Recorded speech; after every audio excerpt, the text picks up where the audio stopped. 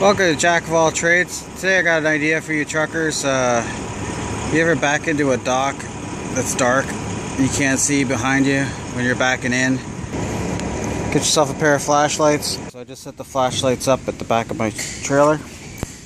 There's objects in the in the dock that could get hit. Now you see the dot right there? That's where I look in the mirror. You see the dot right there? So just an idea for you truckers that uh, are backing into dark bays. If you put uh, two flashlights at the back where you want your trailer to target, you'll uh, be able to back in straight every time.